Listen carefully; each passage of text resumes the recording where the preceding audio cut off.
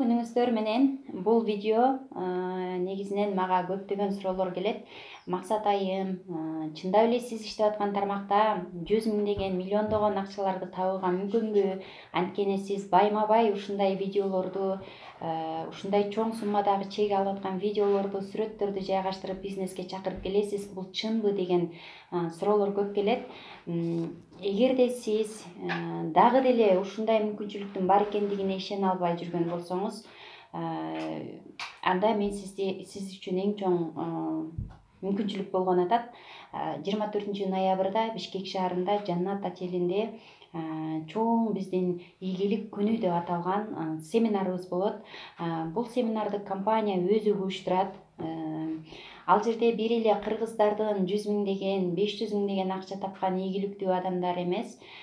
Турциядан жана ошондой эле казакстандан дагы көптөгөн ушул тармак менен алектенип жүрүп миллионер болгон бүгүнкү күндө көптөгөн адамга благотворительный жумуштарды жасап келаткан жарандар келет. Ушундай ийгиликтүү адамдар менен кездешүүгө сизде толук мүмкүнчүлүгүңүз бар. Ал үчүн семинарды өткөрүп жибербеңиз. Дагы бир жолу числону кайталап коеюн. Жыйырма төртүнчү ноябрь эки миң он тогузунчу жыл жыйырма төртүнчү ноябрь бишкек шаарындагы жаннат отелинде андыктан бул күн өзү дем алыш күн болот.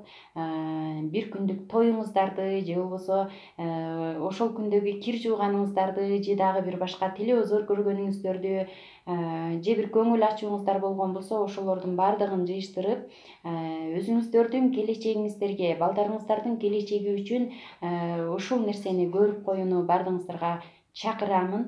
Анткени бүгүнкү күндө сиз э, сомнение менен чынбы калппы деген ой толгоо менен отурасыз а кимдир бирөөлөр жүз миңдеген акчаларды иштеп атат э, андыктан э, келиңиздер.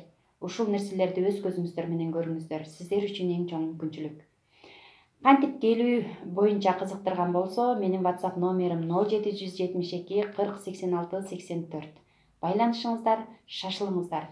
Жаштар үчүн дагы чоңдор үчүн дагы бул эң сонун мүмкүнчүлүк болуп саналат болуңуздар